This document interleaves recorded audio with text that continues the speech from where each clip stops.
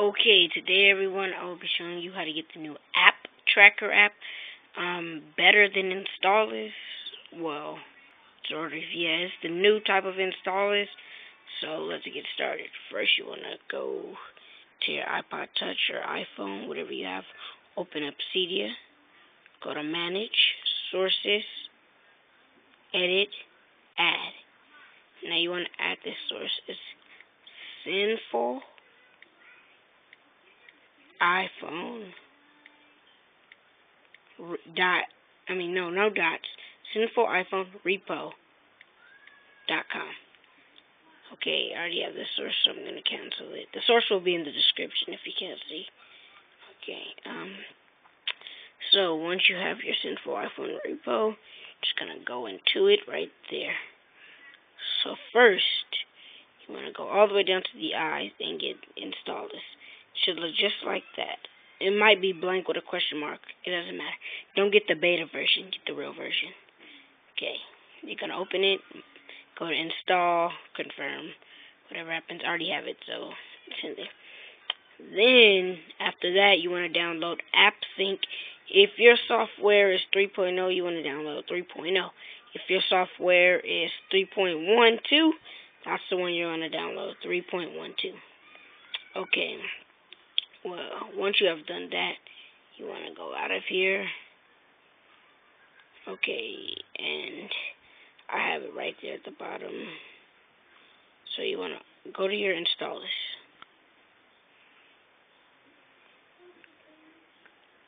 Okay. Um, to get it, you would do this. You're going to go to settings. Okay, and it has home URL at the top gonna go in the home URL.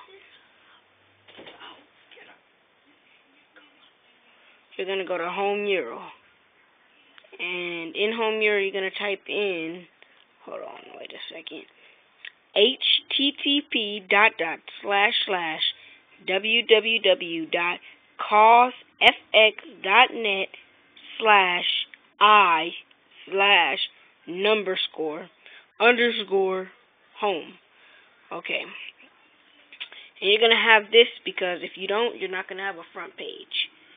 You're going to go to Browse, Sources, and um, it's going to have all these sources. It's going to say Cause CauseFX apps, recent apps, app tracker, Appulous, AppCake, App for iPhone, Zoa, Hacks for your iPhone, iGoogle. Then these are the non-friendly ones and all you're going to go to App Tracker.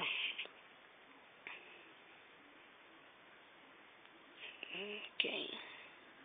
Gonna have to let it load up real quick. App Tracker.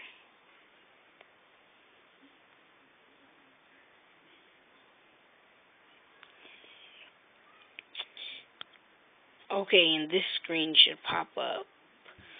It should say have all this stuff. Browse by newest apps, browse by newest updates, browse alphabetically. And then it should have information. So then you can search whatever you want to get. I'm just going to show you guys how this works. Um, what game should I get? Let's see, Driver. Okay, search.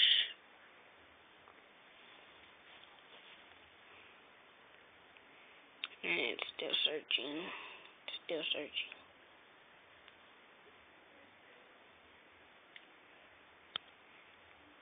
You know, I just decided not to get driver. Um, let's see, what should I get? Uh, what game is in the App Store right now? Let's see, Grand Theft Auto.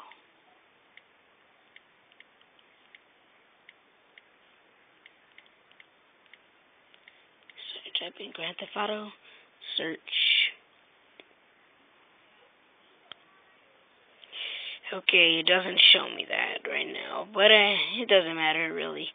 Um, they have it if you would go back to the beginning. Well, go to auto adjust. I'll just try to get this app for you.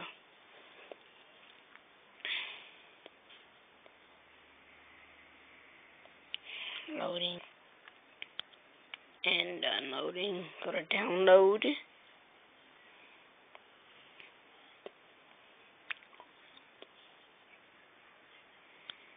And it should pop up if you go down. This one only has one. Most of the time, the best one you're looking for is appscene.org. So you're gonna. Okay, I went to it. I downloaded it.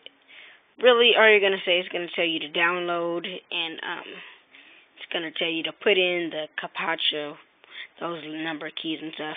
Then you're gonna go to download. You're gonna see it loading and all that. Mine has finished loading already. Um, it is done loading, and once it downloads, you're gonna let it install. So then you're gonna go back. Then once you're back at your home screen, you're gonna go over and you should have it right in your front page. So thank you everyone. Thank you for watching this video. Um, really appreciate you guys um, watching this video, tuning in. This is a great app, better than installing.